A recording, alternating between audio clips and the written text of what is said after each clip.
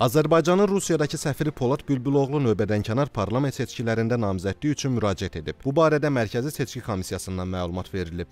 Qeyd edilib ki, Polad Bülbüloğlu'nun 124 saylı Şuşa Ağdam Xocavənd seçki dairəsindən deputatlığa namizədliyinin irəli sürülməsi təsdiq edilib. Mərkəzi Seçki Komissiyasından o da bildirilib ki, ona imza vərəqələri verilib.